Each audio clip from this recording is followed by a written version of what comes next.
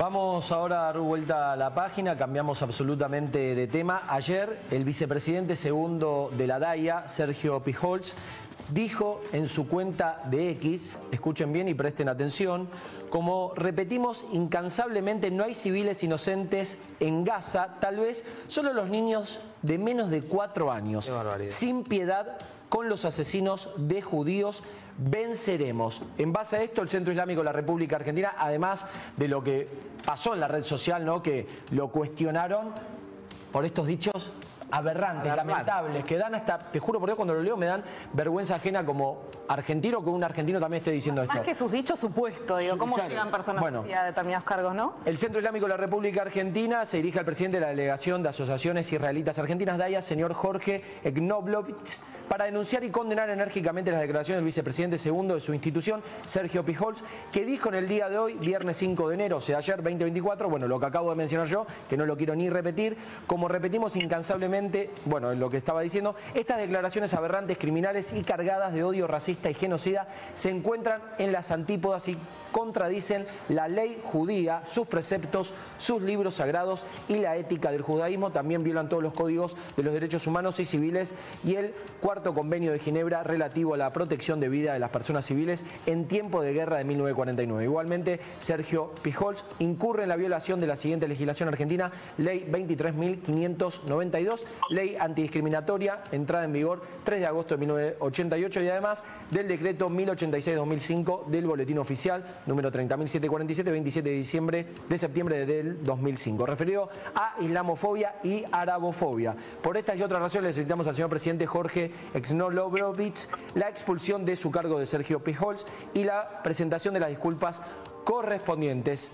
La Argentina es ejemplo de diálogo, convivencia y nuestro pueblo merece que reinen nuestra sociedad la paz, la justicia, la convivencia, el diálogo, la concordia y el buen entendimiento entre las comunidades religiosas. En base a esto, la DAIA lo destituye y lo desplazan de su cargo al vicepresidente segundo. Tenemos en comunicación a Hassan Elbacha, secretario general del Centro Islámico de la República Argentina. Hassan, Jale Nadia y todo el equipo de Fin de Extra te saludan. ¿Cómo estás? Si se puede decir cómo estás. Salam aleikum, Jalen, Nadia, a todo el equipo, que la paz y las bendiciones de Dios sean para todos ustedes. Bueno, recién le dimos eh, el comunicado del Centro Islámico. Eh, ¿Cómo tomaron estas declaraciones del vicepresidente segundo? Eh, Mira, Jalen, la verdad que las tomamos como de quien viene, ¿sí? Eh, obviamente que las tomamos mal, muy dolidos, muy consternados, muy molestos, pero sabemos quiénes son, o sea, y discúlpenme que hable así, pero de la DAIA no, no esperamos otra cosa que no sean agresiones. Lamentablemente la DAIA, una de las, eh, parece ser que una de las políticas claves o bases que tiene es la agresión constante hacia la vida misma y sobre todo hacia, hacia los musulmanes y hacia el Islam. Eh, no es la primera vez, el presidente de la DAIA se ha manifestado en, en, ocasiones, en, en, otras ocasiones, bueno, hablando de terrorismo islámico, eh, hablando mal sobre la comunidad islámica, no solo argentina, sino a nivel mundial. Y bueno, y lo que hizo este muchacho es, eh, está en sintonía con lo que realmente piensan, porque este, esto lamentablemente es lo que piensa mucho de la, de la de los miembros de la comisión directiva de esa entidad. Eh, realmente yo hoy vi, hoy vi que eh, renunció, ayer habían, le habían dado licencia. Yo entiendo cómo esa persona eh, no la expulsaron directamente de la, de, la entidad. no sé si hasta no la, creo que la tendría, deberían haber excomulgado, pero, pero bueno, también si van sobre esa sintonía, si van sobre ese camino, es lógico que digan lo que dicen y piensen lo que piensen. Pero aparte, Hassan, eh, digo, un descargo absolutamente ignorante, porque dice a los asesinos de judíos. Siempre decimos que esto es un conflicto que no es religioso. Nosotros decimos eso, pero ellos quizás lo dicen, pero no lo piensan. Entonces, este, sería bueno que si ellos creen que es un conflicto religioso, que lo digan, que no, sí, a ver, hay libertad de expresión, creo que no, no debería haber ningún tipo de problema. Si ellos consideran que esto es un, un conflicto religioso, como en realidad, o sea, ellos estoy seguro que lo piensan pero no lo dicen, eh, que, que saquen la carita y que lo digan, o sea, ¿cuál es el problema? Eh, este, pero es así, Nadia, lamentablemente estos muchachos son impunes, o sea, no eh, saben que cualquier cosa que digan no van a recibir ningún castigo, ¿sí? O sea, ningún castigo terrenal, el castigo lo va, a ser el castigo divino. Pero son totalmente impunes en ese sentido.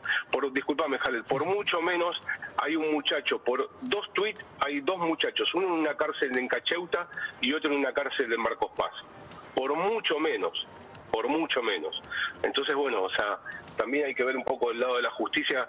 Eh, cómo, cómo actúa, ¿no? O sea, si actúa de oficio, obviamente se, se hará la, denuncia pertinente y demás, pero este, eh, son muchachos que saben que cuentan con, mucha impunidad. Hassan, vos tenés conocimiento si fue desplazado de su cargo una vez que el Centro Islámico de la República Argentina eh, expresó su, eh, sacó este comunicado, no, si además fue también por el impacto mediático. No fue desplazado, le, ayer a la tarde la habían, este, yo te digo por las notas periodísticas, no, mm. eh, no, no tengo contacto con esta gente. Este, eh, ayer a la tarde la, habían pedido un, o había pedido una licencia, una licencia, ah. una vergüenza, ah.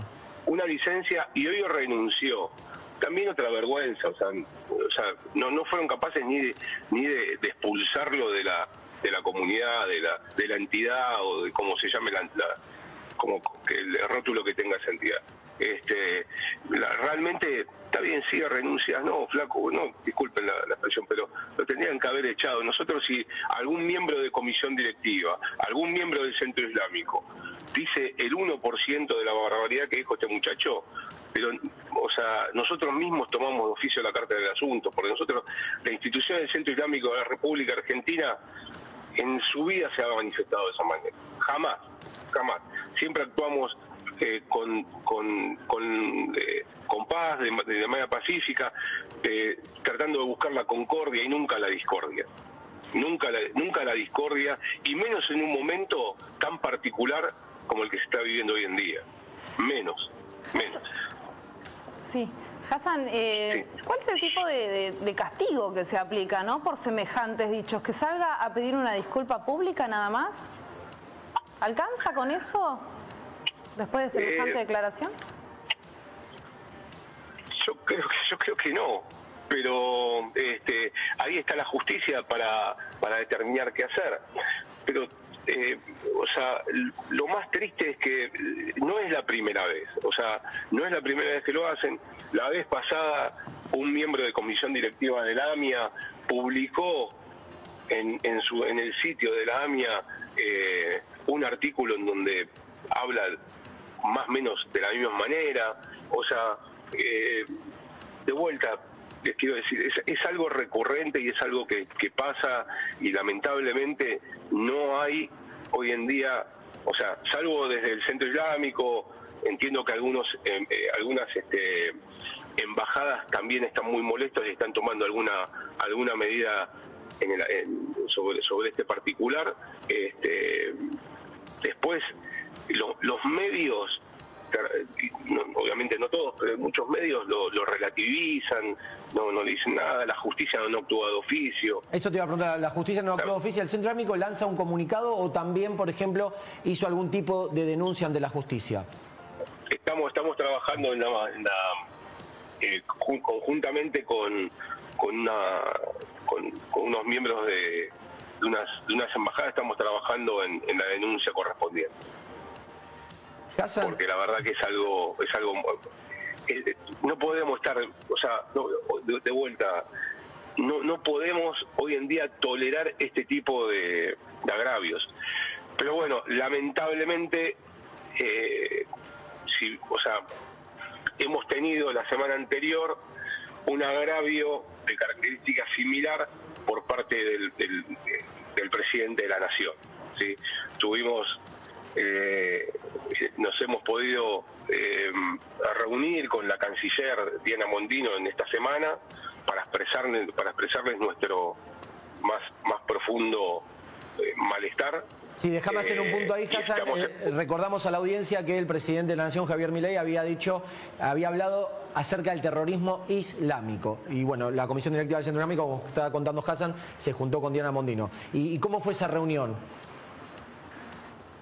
Bueno, fue una reunión cordial, cordial, en donde fue una reunión que fuimos directamente al grano, le planteamos nuestro, nuestro malestar y no solamente nuestro malestar, sino nuestra preocupación por esta estigmatización que se está haciendo sobre la comunidad eh, árabe y sobre todo la comunidad islámica.